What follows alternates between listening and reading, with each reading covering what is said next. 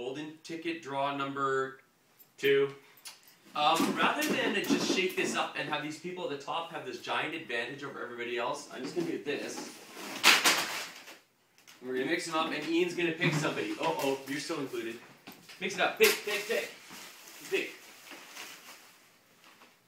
Boom. A very fair draw. Sasha Boissonneau, North Bay, Ontario.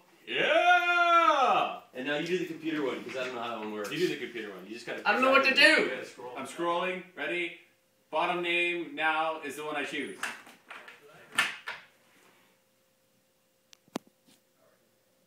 Craig Downey.